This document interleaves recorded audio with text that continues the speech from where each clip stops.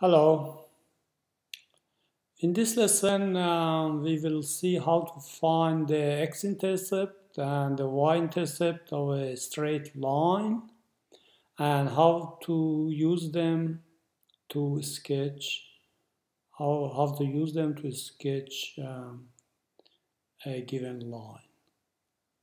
First thing is um, um, the x-intercept is where your line crosses the x-axis and the y-intercept is where your line crosses the y-axis. So I've got a straight line here. As you can see, it crosses the y-axis at 4.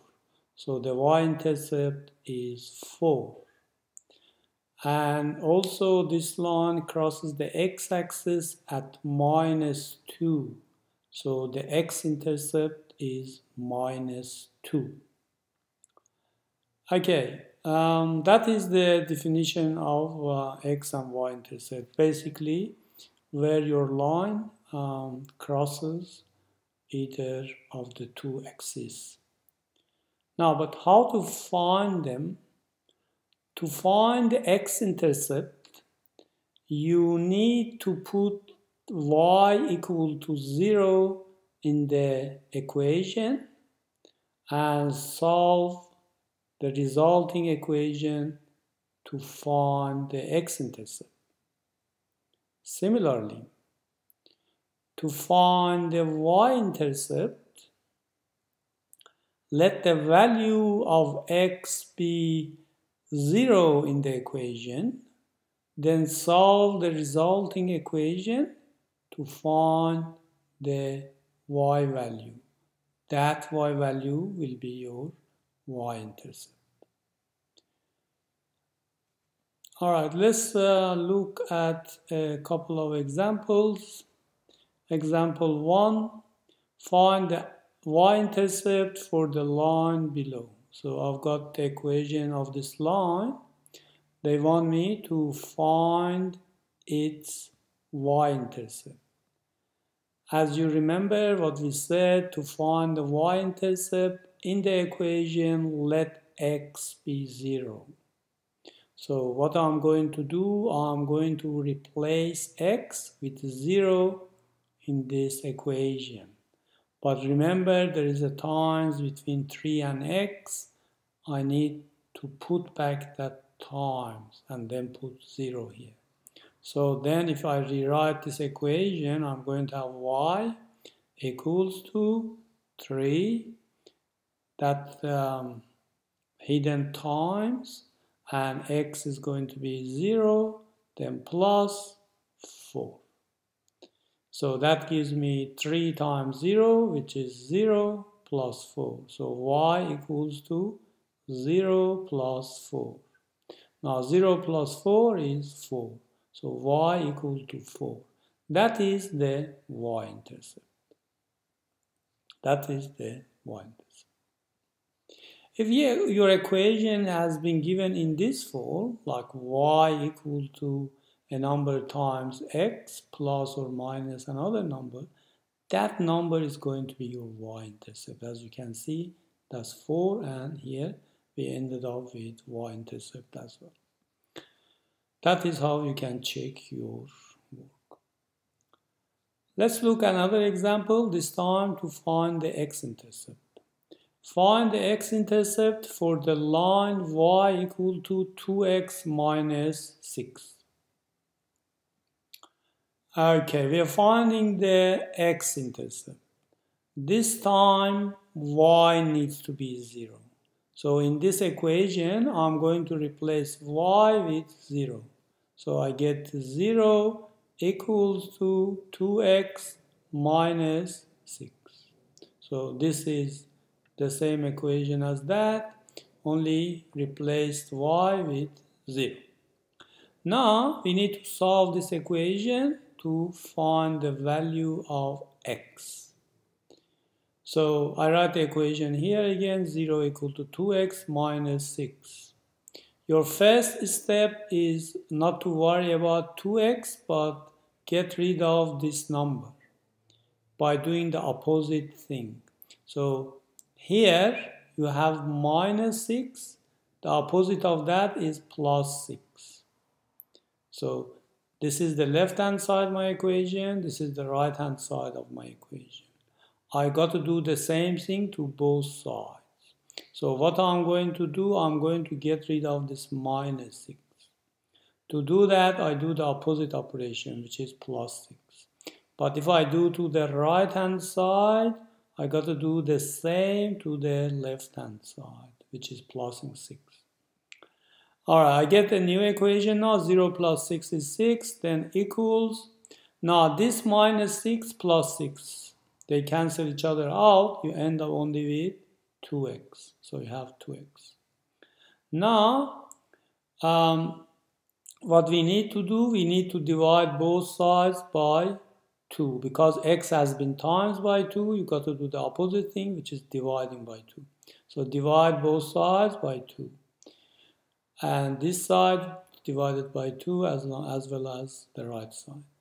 Now 2x divided by 2 will get rid of this 2 you end up with x only and 6 divided by 2 is 3 so 3 equal to x or x equal to 3 and that is our x-intercept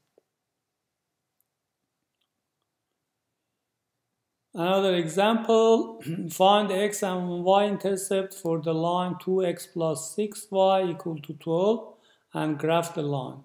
There is a difference between this question and the previous ones. In the previous ones, you had y equal to something, y equal to something.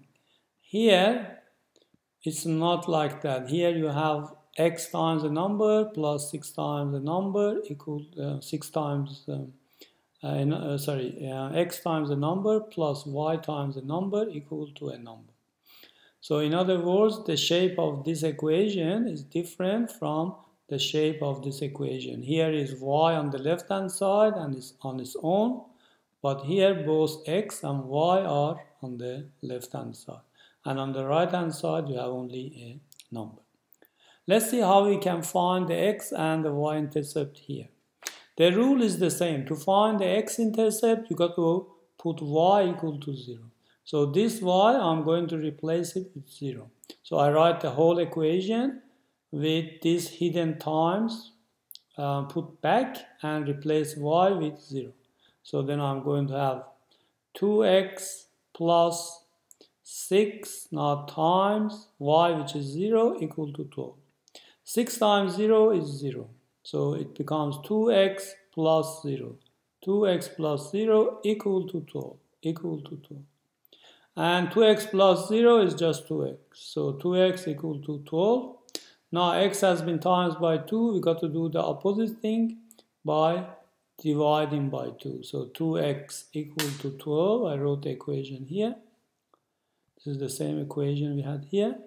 Now divide both sides by 2 to get rid of this um, 2 which is times by x. Opposite of timesing is dividing.